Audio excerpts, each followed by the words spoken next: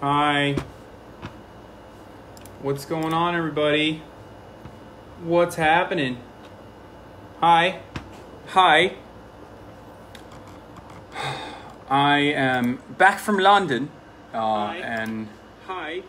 hold on. And uh, I'm going to be speaking a broken British accent going forward uh, for absolutely no reason whatsoever, even though I didn't meet this. Oh, I met like four British people when I was there.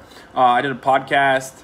I. Uh, like I mean, the entire time I was in London Zone One, which I believe is like uh, an incredible, incredibly diverse, very is a product of multiculturalism. It's where all the like bureaucrats and the and the uh, plutocrats live apparently in in London. So uh, I didn't actually encounter that many British folk or that many folk that had um, like a proper British accent. So uh, I didn't really get to experience that part of it. And but i still want to be that guy who goes to um, who goes to a different part of the world and he's like oh well now i have an accent. It's just normal. It's just normal things. Very normal. This is just how i am. I, I, I apologize that uh, i picked up on the british accent when i was there. It's not because i personally believe it's posh but because um, you know it's just a matter of of uh, of being in this environment you know? So yeah that's where i'm at. That's where i'm at right now. Uh, anyway guys you already know what the deal is. I'm doing a quick i'm doing a quick pregame right now for my twitch um, at www.twitch.tv for those of you who are just joining right now i'm going to be going live at www.twitch.tv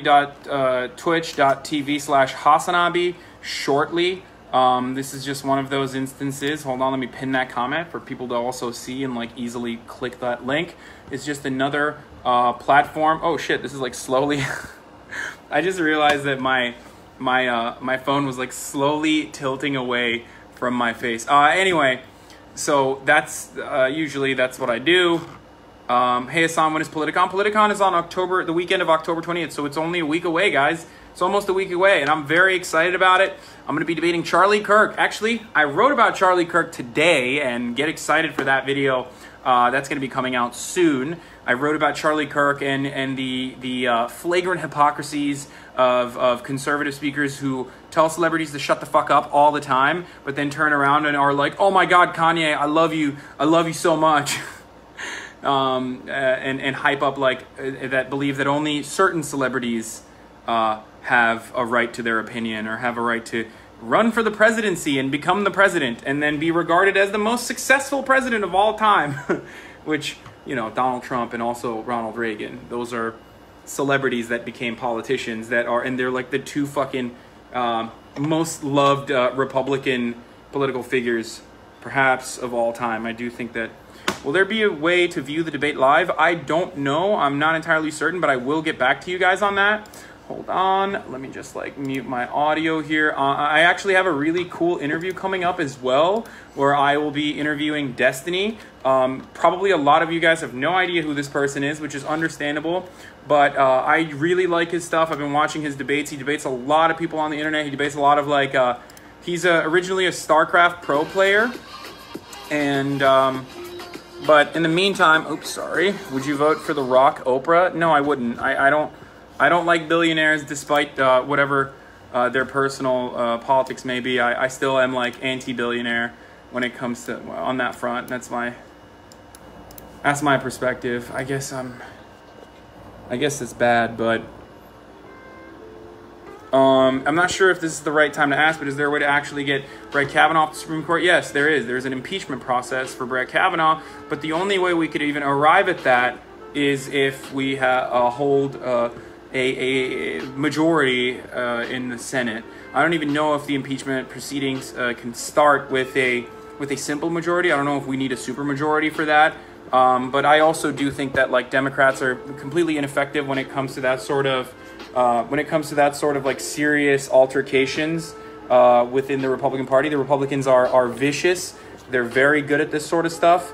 Mitch McConnell, especially, obviously, as you guys know, they denied they stole a Supreme Court seat from uh, a democratically elected president, which is something that a lot of people forget. Um, anyway, Americans, please don't come to London then think you can do a British accent. You can't. Britain is uglier now that you have left HB. Well, thank you, Darren Effington. Darren Etherington. thank you. Well, thank you very much, sir. My good sir. Um, best way to energize those who think their vote doesn't count. Um, have uh, Democrats actually care and speak to their constituencies, especially the progressive base that is super mobilized right now. Uh, that is one way to like re-energize uh, people by like vocalizing what the actual issues are and like what the steps you need to take as far as like preventative legislation goes or what kind of steps that you need to take as far as like progressive fiscal policies go. These are things that we need to do. Uh, I think we don't hold politicians accountable uh, for for what they're saying, and we uh, we're we're kind of uh, used to this defeatist mentality when it comes to electoral politics, where we're like, well, they're better than the other guy, so you have to vote for them. Which for a lot of people, um, neither party uh, makes a lot of sense for them. It's understandable. They're like economically disenfranchised regardless, so they're like, why the fuck would I vote? I have to work anyway. Um, and, and neither party holds my best interest at heart. Obviously, this doesn't uh, pertain to to um, uh, communities that are marginalized by like their ethnic background or or um, or because of their gender or, or because of their sexuality. Those are uh, those are those communities usually are, are more likely to vote for um, uh, Democrats. The be- probably the best example of this is like the the uh, black female constituency that is firmly held. Uh, it's like the base of the Democratic constituents.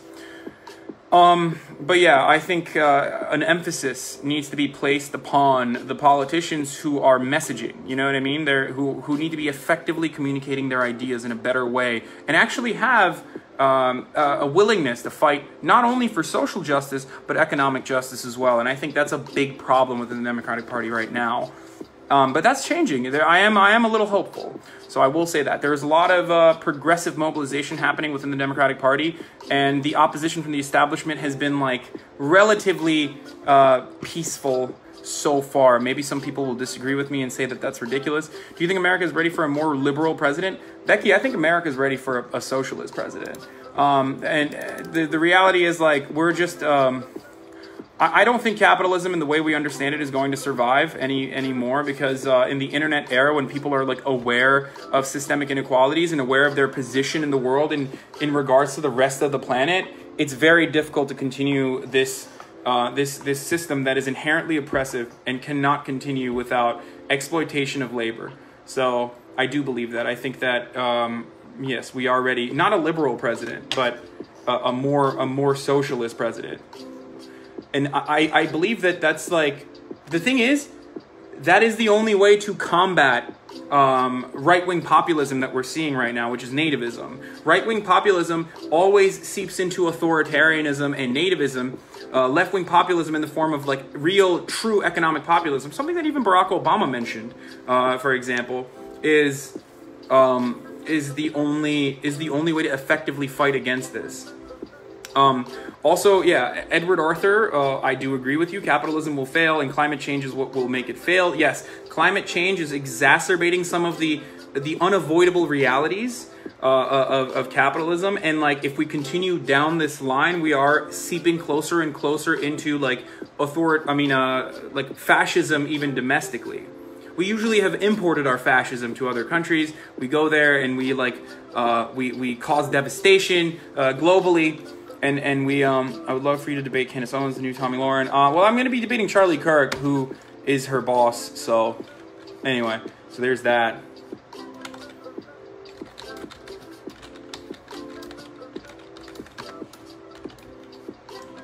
But yeah.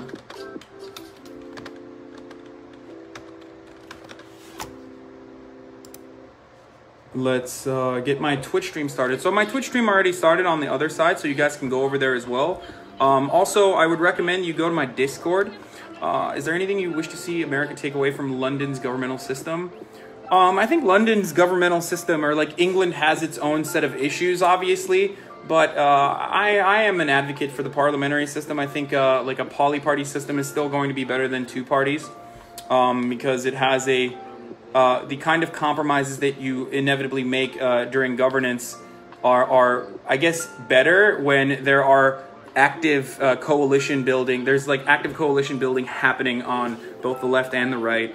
Um, I mean, all governments inevitably uh, have stalemates, uh, but but ultimately, I think like a parliamentary system would be better. Uh, obviously, as far as like uh, London or as far as England's uh, like economic understanding, the system that they live under is way closer to a social democracy than the United States, which is like a fucking which is a capitalist hellhole. So where where we essentially have the fucking Hunger Games for um, for certain things like healthcare, which every other developed nation and even undeveloped or underdeveloped nations fucking offer around the country around the world. So of course there are certain things that I appreciate about London and appreciate about uh, English politics. So you know, there's that. Uh, Sparky Dust. Oh shit! Hold on. Thanks for that. Um, but yeah, so yeah, I um, like I said, guys, I'm um, I'm moving over to my Twitch right now. I'll probably have this. Um, will burn up the earth from pollution. Yeah, exactly. Like the, the climate change is is, is uh, exacerbating. Like global capitalism is devastating the the world in, in meaningful ways. But one of the most meaningful ways that we don't really talk about, especially here in the United States, is climate change. it's coffee, Brett. I'm I'm drinking coffee. So. Um, socialism is the same like communism for America. Yeah, that's it's so weird. It, it, it's so weird that people like here in the United States have this like serious educational gap that was purposely created, by the way, uh, during the Red Scare and the, during the ideological warfare that the United States engaged in in an effort to ensure that like global capitalism, uh, like systems were set up in a way to maintain global capitalism. So um, the the outcome of that, of course, domestically has led to people not knowing what the fuck socialism is and and, and not being able to distinguish between socialism and, and communism. Um, that's obviously a problem. It's not even like the biggest issue. I don't think. The biggest problem right now is that like Democrats also are a part of very much a part of the system and also upholding capitalism versus like in other countries you have Democrats who are like openly communist or openly socialist. Like they provide a viable opposition. They provide viable alternatives. Do you see what I'm saying? Versus like in America, both sides are kleptocrats. Both sides are still propping up the same corporate benefactors in the end of the day, and that's the biggest problem. And that's part of the reason for political inaction. That's part of the reason why a lot of people feel as though their votes don't matter. Um, and that's that's something I talk about uh, a lot, obviously. Um, so I just wanted to bring that back to like your original point. Do you think that Dems that openly support socialism might have less of a chance and may push more people to vote Republicans? Is that how, is how America is right now? Um, not necessarily. I think Democrats need to also effectively message uh, why socialism isn't bad. Like you see it with Bernie Sanders. He does a very good job. He like tied. It wasn't just about socialism. He it wasn't like an ideological position that he had.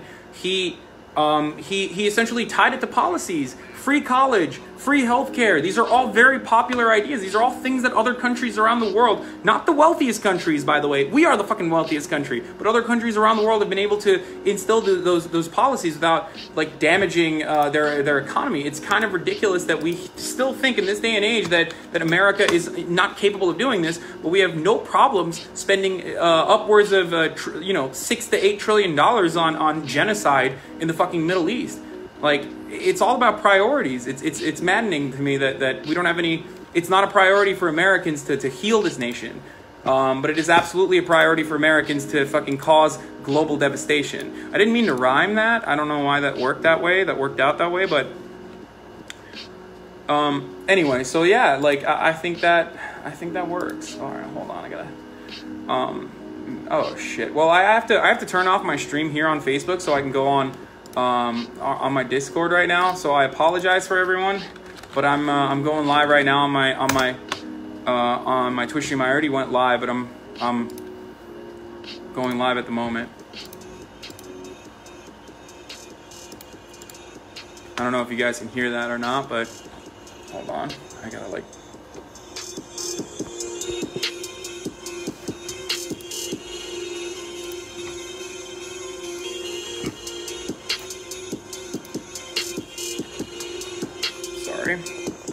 see if I can put this somewhere else that's like a little bit better. Oops. Oh, uh, uh, uh. I'm having a hard time. Of course, as always. Let's see, is this better? Nope, that's not better. Nope, that's not better either. I gotta put this back here then. Fuck it. There we go.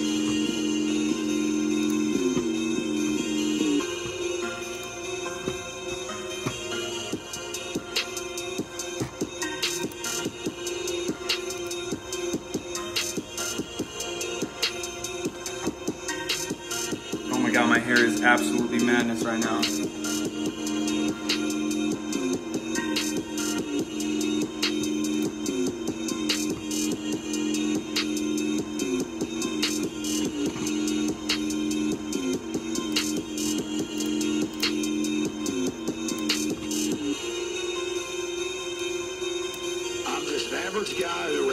Going on, everybody? How's everyone doing? I'm back.